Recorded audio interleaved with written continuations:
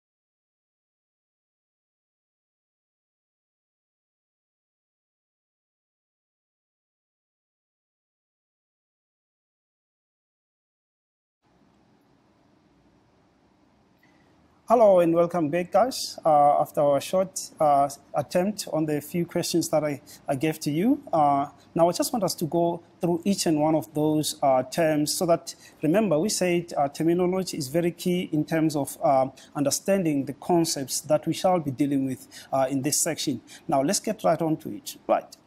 Okay. Okay. The first term that you have there is, or the first word is transverse wave. Right. The term transverse, we have interacted with it uh, before when we looked at transverse pulses.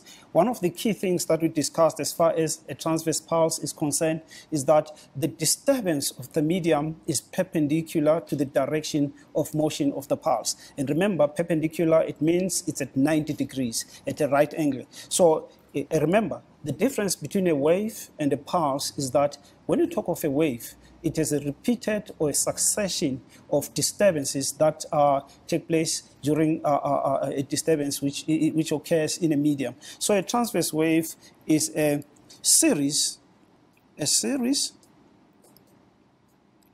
of pulses in which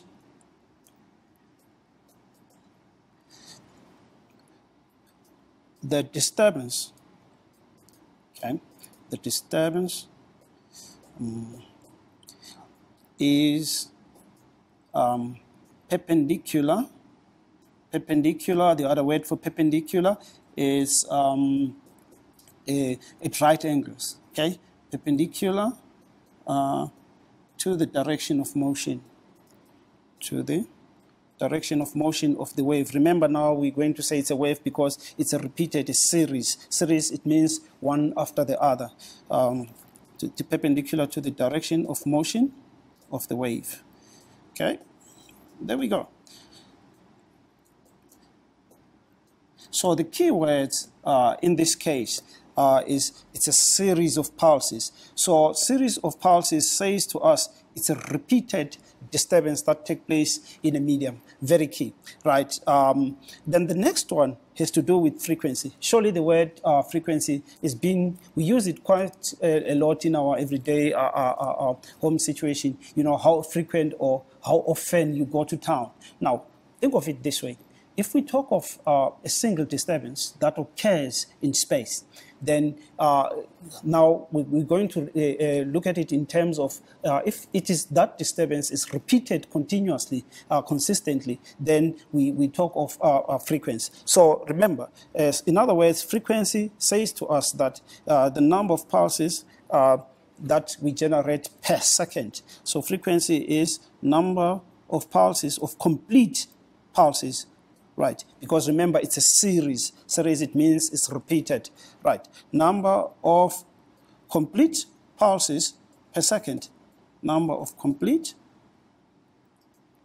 pulses per second.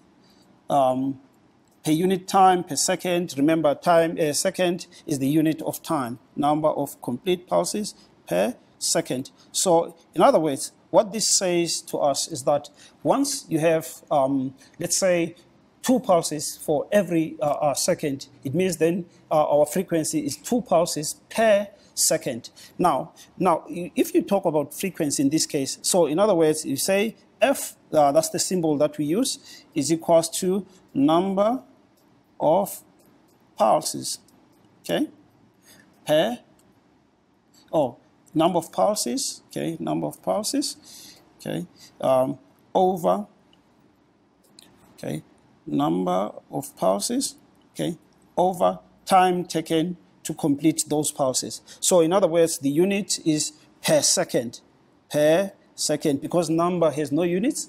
Now, per second, in other words, uh, it means that uh, per unit time, how many complete pulses have we uh, uh, propagated from the source? Remember, the disturbance must start from somewhere. So often we refer to that as a source. Now, per second, it means if we have one, for example, pulse per second, it means our frequency is one hertz. So the hertz is the SI unit of what? Of frequency. We shall keep that in mind. Moving right along, uh, let's look at period. You know, uh, more often than once, we talk of uh, it's, now it's the period for science. Now, if you talk about period for, science, it, it has to, a lot to do with time. So when we talk about period, we're talking about time, but time for what? In this context, we're considering uh, how, how long exactly does it take to generate a complete pulse. In this case, I uh, would say period would then be, for that reason,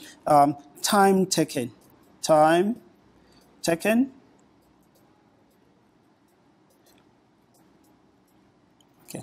uh, time taken to complete a single pass. I think this is one other uh, concept that we dealt with uh, before. So the time taken to complete a single pulse, um, a pulse could be a vibration, um, a, an oscillation, a, a, a, single disturbance. However, it should be complete. So the time is always measured uh, in seconds. That's our SI unit. So period, the symbol is T. And remember, T suggests something about time. Of, of course, that's the, the, the, the first letter of, of, of, of the quantity, which is time. So in other words, I want us to, to be very careful because the difference between frequency and a period is that frequency is to do with the number of pulses in a given time. Whereas um, when we talk about period, we are talking about the time that's taken to complete a single vibration, oscillation, or a disturbance in a medium. Right. Okay, moving right along, let's look at the, the next term, which is uh, where, uh, in phase.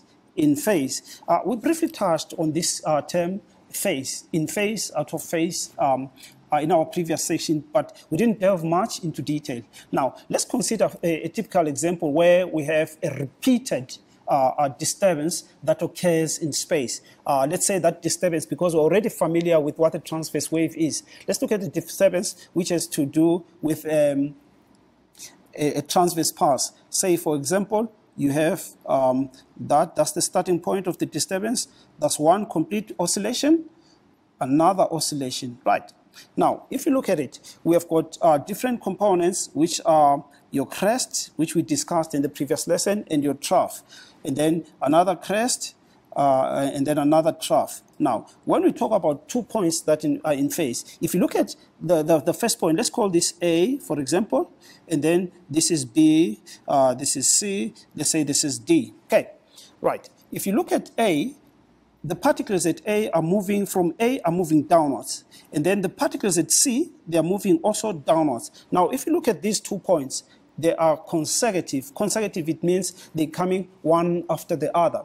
So in other words, uh, if two points are in phase, it means uh, at that point, the particles move in the same direction because remember, it's a repeated cycle or a repeated uh, uh disturbance that occurs in a medium. So for that reason, we will have point A and C being in phase, whereas point B and point D are in phase. There are many points that we may consider. If you look, uh, let's say this is another point, it will be in phase with that other point, right?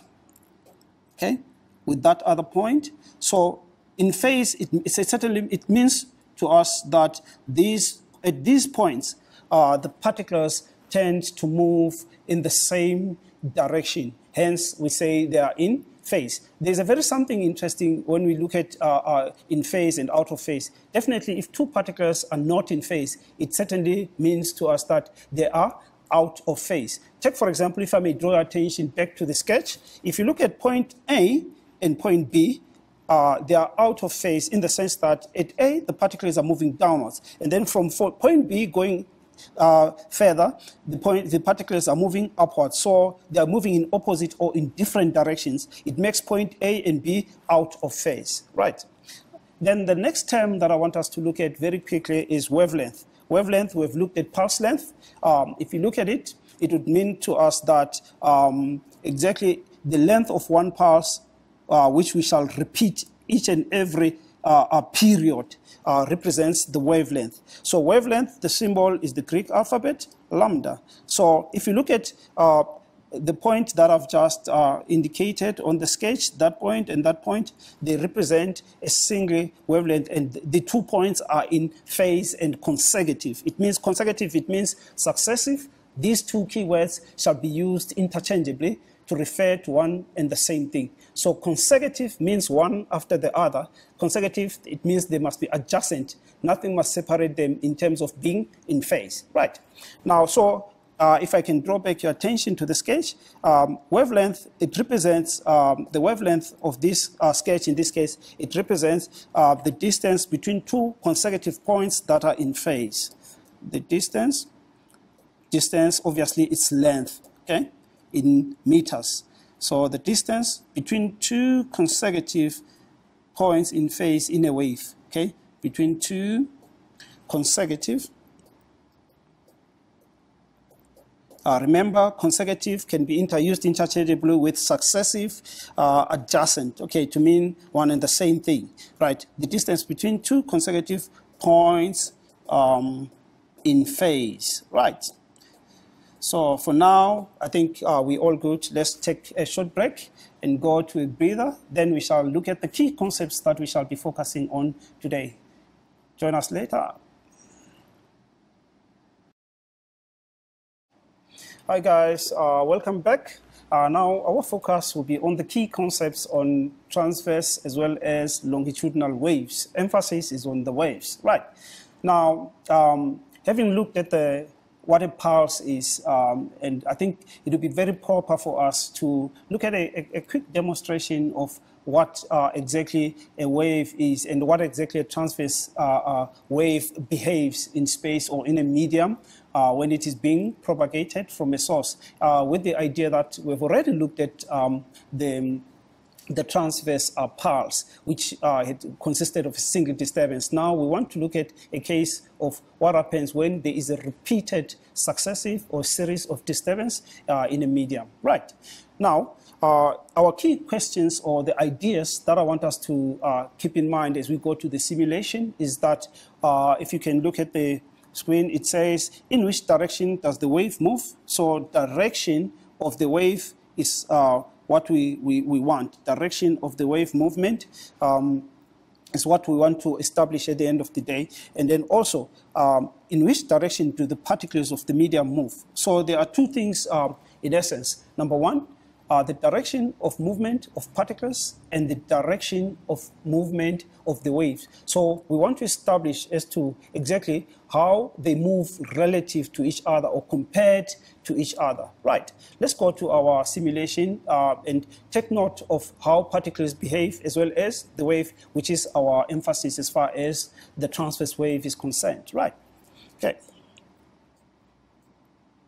Okay, so with us now, we have a PhET simulation. We've used it before. Uh, simulation uh, kind of models the behavior of uh, a wave in this case. So what I'm going to do, I'll use an oscillation uh, which is going to repeat itself periodically because remember, now we are talking about the repeated movement. If you check, I'm going to play that, uh, there is an up and down movement of the particles as well as the movement of the waves. Uh, in this case, is from the left of the screen to the right with a loose end there. So it's very important to ch check that uh, also the disturbance is continuously being generated. Hence, we referred to the term a pulse, a series of pulses. So it's no longer a single pulse. In this case, it's a repeated uh, disturbance that's being propagated uh, through the medium. Right.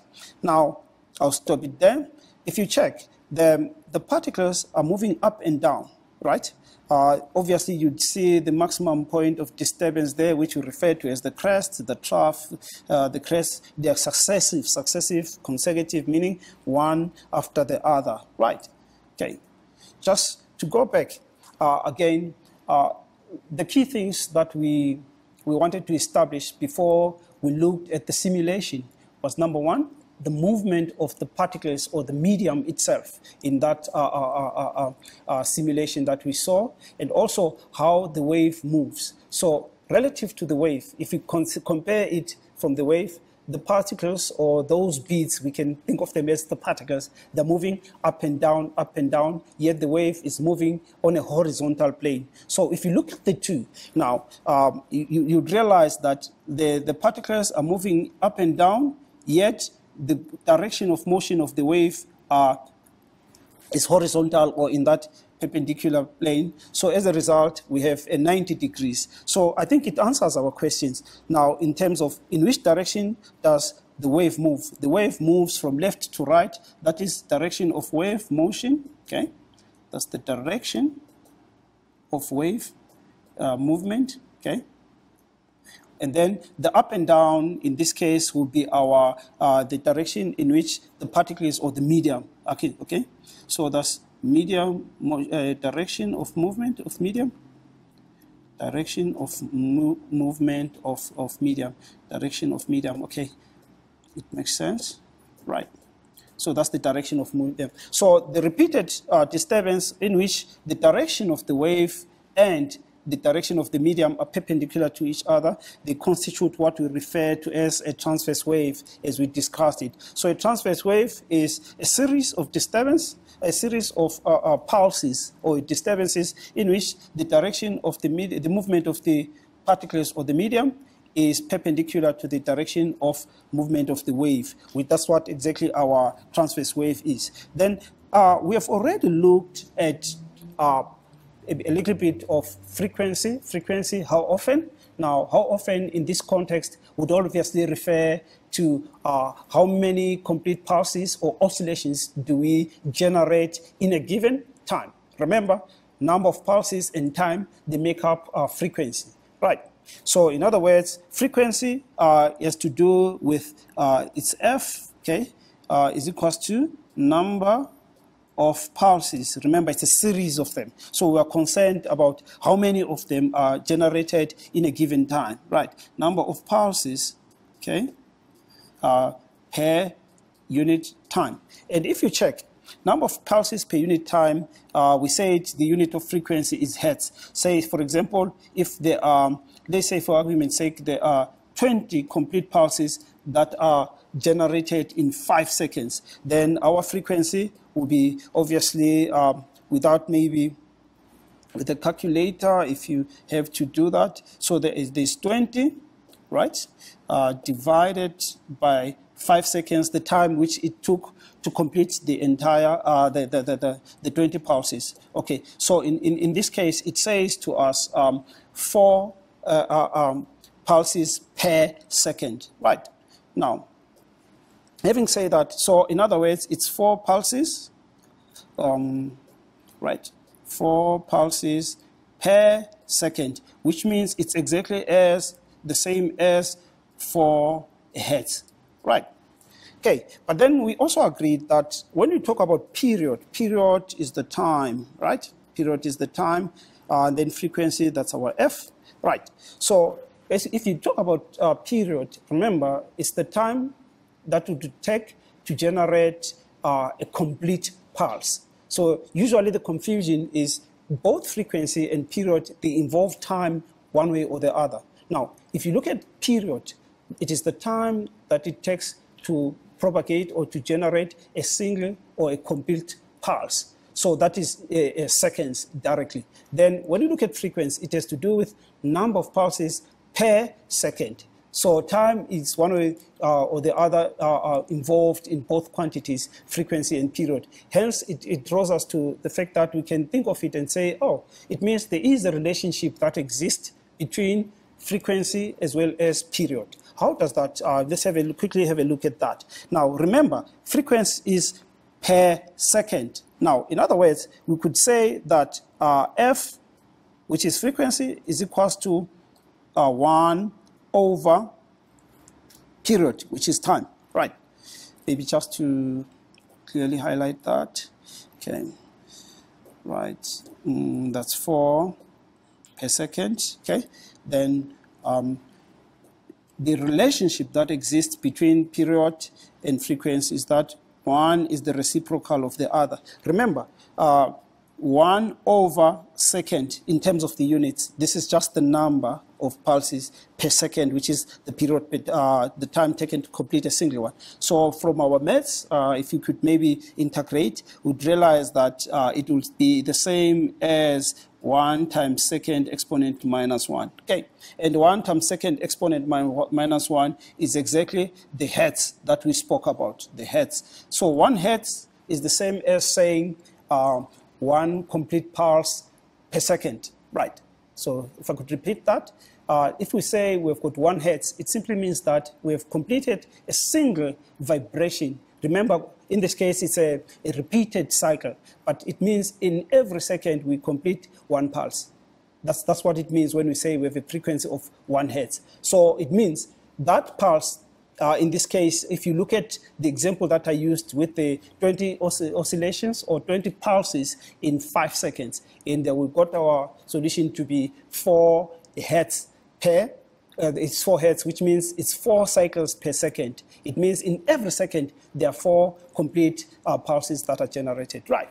Okay, now let's look at the wave equation, the wave equation. Remember, we have also looked at the equation V is equals to distance over time. This is what we already know in terms of uh, if a pulse covers a particular distance in a given time, we are in a position to, to determine how fast that pulse is moving. So remember, a wave, a pulse speed is something that we did previously, but today we're looking at wave speed. They are directly related in the sense that both of them uh, involve the distance or the displacement. Uh, I would use the word distance for now, uh, for us to know how much distance has been covered by a, a, a wave in a given time. Right, so obviously the distance will be in meters as well as the time in seconds. Right, uh, remember wave speed, this is what we already know from our previous session. So we are saying that uh, wave speed is in meters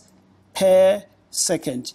Remember, this is the notation that we use. We must show the dot to show that uh, this is the product of uh, distance and 1 over time, okay, if you can think of it that way. Right. Now, uh, and it's in meters per second. Going to extend the page. Right. Now, if we look at the wave equation, what does it say to us? It says um, V is equals to um, wavelength times frequency. Okay wavelength times frequency. Remember, multiplication is associative. Whether we can start with the frequency and, uh, or and end with the wavelength is still fine. But in most sources, it will be presented as um, V is equals to V is, is equals to um, frequency times wavelength. And remember, uh, this is our general wave equation that we shall be making use of in quite a lot of situations uh, as we go along in our very interesting section. Now, frequency is measured in hertz. Okay, right. So I'll, I'll just talk about units now. Frequency is measured in hertz. That's hertz, right? Which means per second. Number of pulses per second multiplied by uh, the wavelength, which is the distance between two consecutive points that are in phase.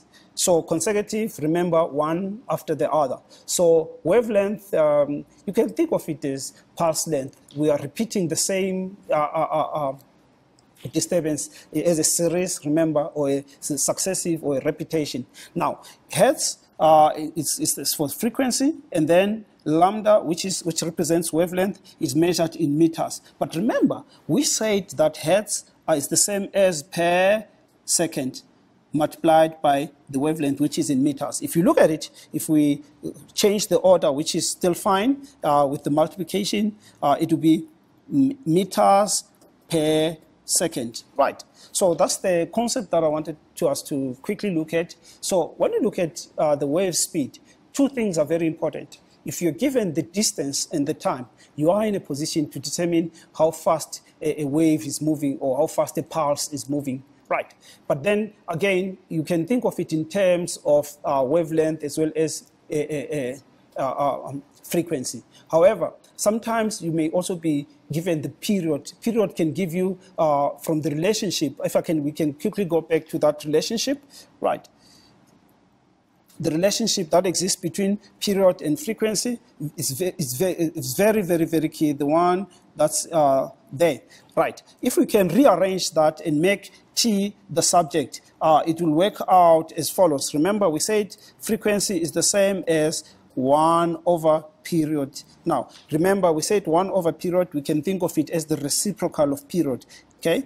Now, if for argument's sake, um, we want to rearrange this, uh, that what you'd call the subject of the formula. Uh, we multiply both sides by t, right? Multiply both sides by t. What we did on the left, we did on the right, okay? From your maths background, I think we'll have um, t period, which is t, multiplied by f is equals to 1.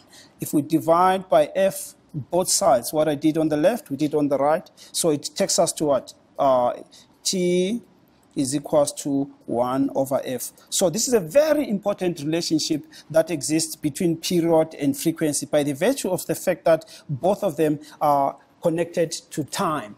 So the key ideas uh, that, uh, that we wanted to look at today is that um, when you look at um, period and frequency, both of them have time. However, uh, frequency has to do with uh, exactly how many passes we complete per second. And then when you look at uh, period, it has to do with the time taken to complete a single pass. For now, I think we'll just take a short breather and then we come back and our focus will be on the longitudinal waves. There are a lot of similarities between uh, the, the, the, the transverse wave and the longitudinal wave in the sense that both of them have to do with the repeated disturbance that takes place in a medium. Right, let's take a short breather, then we join each other after the break. Thank you. Hi guys, uh, welcome back after the short recess. I hope each and everyone uh, had a well-deserved break uh, just to reflect on what we discussed uh, uh, as far as the transverse waves are concerned. Now, next is uh, a brief focus on the longitudinal waves, uh, which is, uh, as I was indicated earlier on, there are a lot of uh, similarities between uh, the longitudinal and the transverse wave, and also there are some differences as well. Right, if you come to think of it, longitudinal waves are a bit different as far as um, transverse wave, uh, wave uh, consent. Now, now, if you look at a disturbance in which, say, for argument's sake, uh, we generate a disturbance which will be propagated to, through space, right? Let's say we have uh, particles moving in that direction, right? Right.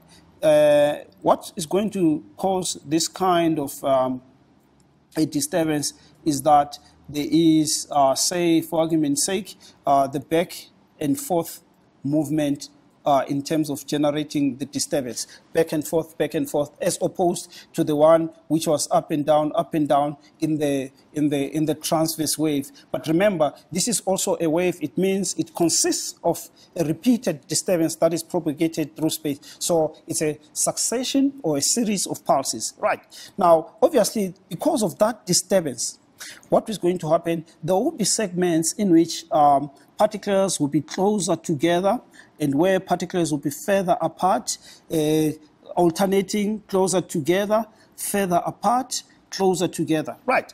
Now, I want you to realize the two key questions that we have are in which direction does the wave move? Obviously, uh, let's say it moves from left to right. So we may think of this as the direction of the wave movement, okay? Direction of motion of wave. Direction of motion of wave. Right. So the wave moves in that direction. Right. Now think of these as particles uh, the, these horizontal lines that I've, I've, I've, I've drawn uh, on our sketch. These um, it represents the disturbance. So the disturbance is back and forth back and forth back and forth back and forth. Okay? Back and forth. Right in this case. So if the disturbance is back and forth, it means uh, as far as in which direction do particles of the medium move, they move uh, horizontally, right, in that way, and in that way as well, as I've demonstrated. But again, if you look at the direction of motion of the wave is from, let's say, from point A uh, to point B, it's also in the same plane, same plane. So the direction of the wave and as well as the direction of the movement of the particles, we can think of them as being parallel to each other. Parallel because uh, if this is the direction of motion of the wave, the particles will move in that direction as well as in that direction. So if you think of it um, geometrically or mathematically, these are parallel to each other. Right. So the key word as far as a longitudinal wave is concerned is parallel. Right. Now, there are, we can't talk of uh, crest and trough in this case. But now you'd realize that as a, a, result of the repeated back and forth disturbance that is being propagated in space, we have got sections uh, which are uh, where the particles are closer together, which we call the compressions. Okay, these are called the compressions. So this is a compression. So I'll see, I'll see, you see there, this is a compression, and then this is a rarefaction rarefaction. I'll use R for that. Uh, the, one of the most common mistakes uh, when it comes to um, the, the difference between the components of a longitudinal wave is compression uh, and rarefaction. Uh, there's nothing wrong with the compression because when you compress, you mean you're bringing them closer together, right? So these particles, or think of the beads in the PhET simulation that way closer together. Then the, the word which is often mis, uh, uh, there's a misconception around it is rarefaction. It's a rarefaction. It's rare, which is uh, something which is uncommon. Then so most often they would say uh, learners will say fraction. No, no, no, as in uh, parts of a whole. No, it's rarefaction. Take note of that. Okay, so that's the spelling if I can draw attention to it. So a compression is that region uh, in a longitudinal wave uh, where particles are closer together. So there's a compression, rarefaction, compression, uh, rarefaction, rarefaction, a compression. So if you, you can check, uh, they are consecutive, it means one after the other. Come to think of it, these two are successive points in phase because they represent uh, particles where they are closer and the other one is also closed. We can think of this as the two consecutive points in phase. And then you, if you look at the rarefactions as well, these two points where particles are further apart is followed by, is alternating with a compression and then a rarefaction. Now, the key word that comes in when we talk about points in phase, uh, out of phase, uh, obviously is the wavelength. Okay, so in, in place of um, the crest and the trough, we talk about compressions and rarefactions. So if two compressions are consecutive, or it means they're successive, they're coming one after the other, that distance represents the the wavelength. And then come to think of it, let's say uh, this is the point of zero disturbance. So this is only half the pulse, right? In the, the, the, disturbance, if you come to think of it, if you can track the green, it goes, comes back, that's one, that's, that's half a, a disturbance then it means that it completes a single pulse. Now, there's back and forth movement that we spoke about. So, the, from if this is the rest position, it means this is the point to the maximum disturbance. It's like from rest position to crest. But in this case, we can't talk about crest. It's rest position to compression, right? Uh, it's the same as if this was the other uh, rest position. It means if the disturbance goes that way, it must come back, go the other way and come back. Then we have made a, a complete pulse. And then a repeated succession of each one of those gives us uh, our what we call the, the longitudinal wave. So those are some of the key differences between the two. Right. Okay, moving right along, um, I just want us to look at a, a set of questions that uh, address uh, transverse and longitudinal waves uh, to gauge our understanding uh, in this section. Now, I'll draw attention to the next question. We'll go through it together, guide each other, and then I'll give you time to do that so that we can do collective feedback, and then we consolidate our section. Right. Okay.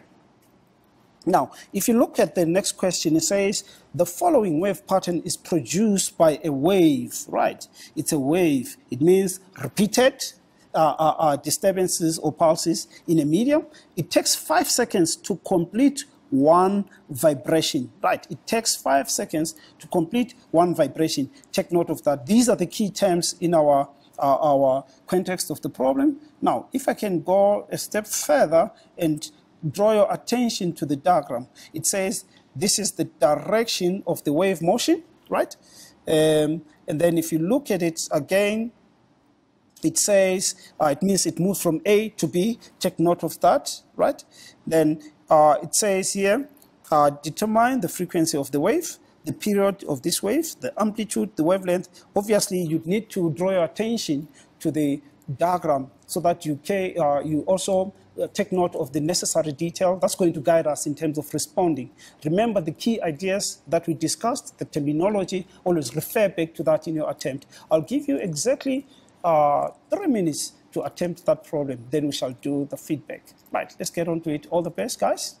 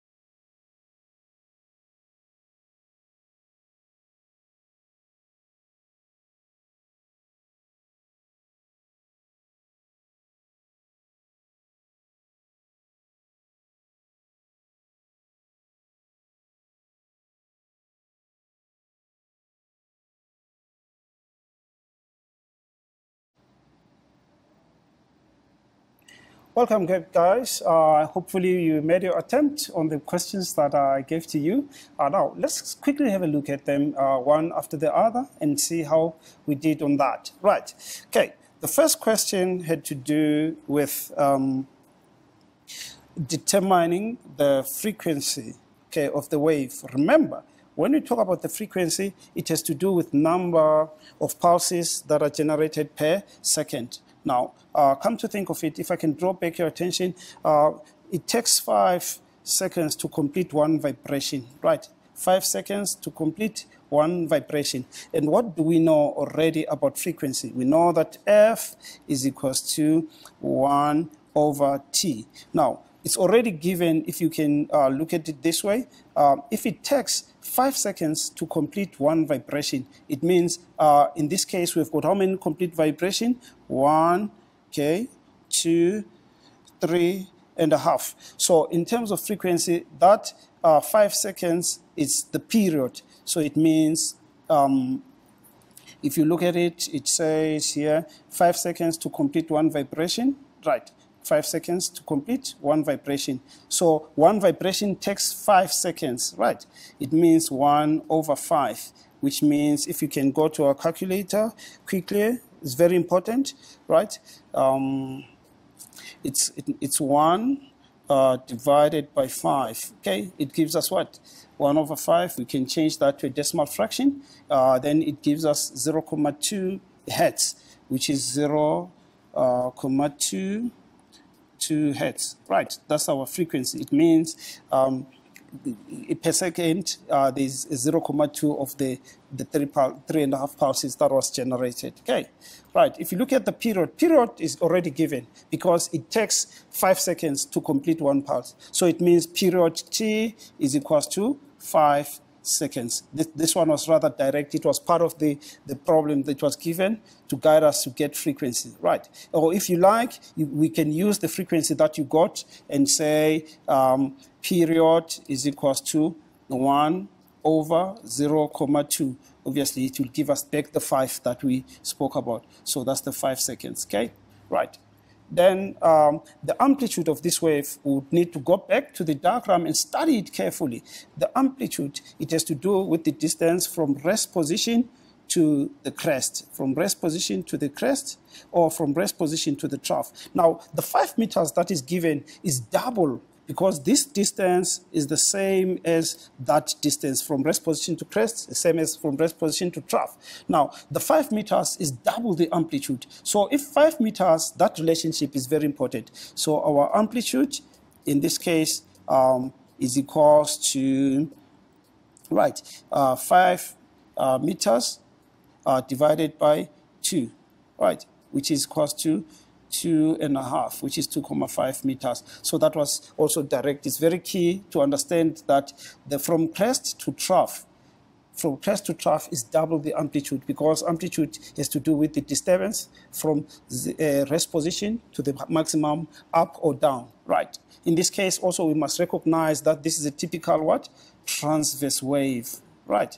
Transverse wave, okay? Right. Okay, moving along, um, the wavelength in meters, the wavelength in meters, oh, wavelength, two points that are in phase, obviously it has to do with this. If you look at the, the 300 millimeters, it's from, this is uh, only half a pulse, another half, and then another half. How many halves do we have here? In this case, we've got three of them. So only two of the three, they make um, exactly the, the, the, the wavelength because that is our wavelength. You can think of that as the wavelength, or alternatively, you can consider that. So two of the three portions makes up the wavelength, right? So if you check, uh, 300 millimeters is for the two and a half. It's from the one and a half uh, wavelengths, okay? Right, so it means we have to divide that 300 millimeters, okay, by two. In this case, it will give us what? uh, by three rather, because there are three halves, okay? It will give us exactly 100 millimeters, 100, okay, millimeters, right? But remember, the 100 millimeters is only half the wavelength. So if half 100 millimeters half the wavelength, it means in this case our wavelength is going to 100 millimeters times 2, which gives us what? 200 millimeters. But remember, wavelength is length is measured in meters. We have to divide 200 by what? By a thousand. Okay. If we go to our calculator very quickly, um, it will be uh, 200 uh, divided by a thousand, which gives us um, okay 1 over 5 is 0, 0.2 meters, right? So that's 0, 0.2 meters. That's our, our wavelength, right? 0, 0.2 meters. That's our wavelength. Right. I just want us to quickly look at the next question, um, the last component of the question. Right. In this case, uh, it says uh, the distance uh, between two consecutive compressions in a longitudinal wave is 250 millimeters, uh, and the frequency of the source, okay, is 80 hertz. Right. I'll give you a chance to complete that. Then um, you'll do the rest. Uh, so that you, have, you, remember this question talks about period. It's, it's, a repetition. We have done it in terms of our examples. I think uh, the key thing, when you go to the wave speed, you need to know whether you're given the frequency or in the wavelength or the distance and the, the, the, the time taken to, for, to move by a, a, wave or a pulse. So remember, distance uh, speed is meters per second. So I think we've done quite a lot uh, for today as far as uh, the concept of transverse wave and longitudinal waves are concerned. Uh, please do the remainder of the questions as uh, practice. Then we shall meet again in our next segment. Uh, cheers and bye for now.